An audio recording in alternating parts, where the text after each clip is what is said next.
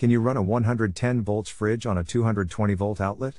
Plugging a 110 volt appliance into a 220 volt outlet can cause several issues. The excess voltage can lead to an increased current flow through the appliance.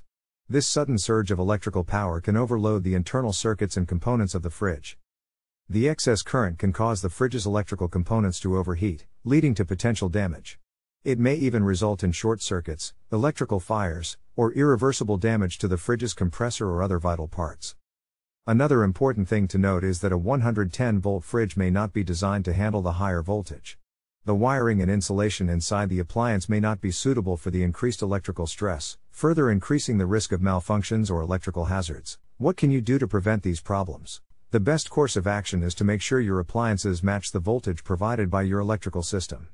If you're in an area with 220 volt outlets, it's essential to have appliances that are specifically designed for that voltage.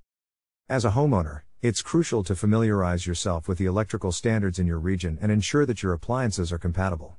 Check the labels on your appliances or consult their user manuals to determine the required voltage range. If you accidentally plug a 110 volt appliance into a 220 volt outlet, immediately unplug it to prevent further damage. Have a qualified electrician inspect the appliance for any potential issues and determine if repairs are possible. So, you have a 110 volt fridge, but you live in an area with 220 volt outlets. What can you do? One possible solution is to use a voltage stabilizer with a multi output plug that can convert the higher voltage to a suitable level for your appliance. A voltage stabilizer, also known as a voltage converter or transformer, is an electrical device designed to regulate or modify the voltage supplied to an appliance. It takes the 220 volt input from the outlet and converts it to the required 110 volt output that your fridge needs to operate safely ensuring that the appliance receives the appropriate voltage without the risk of damage or malfunctions. It's important to choose a voltage stabilizer that matches the power requirements of your fridge.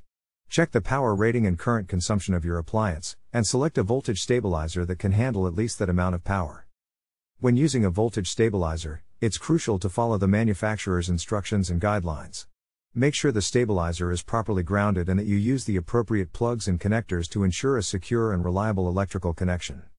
That's it for today's episode of Electricity Frenzy. Stay tuned for more exciting episodes where we demystify the world of electricity.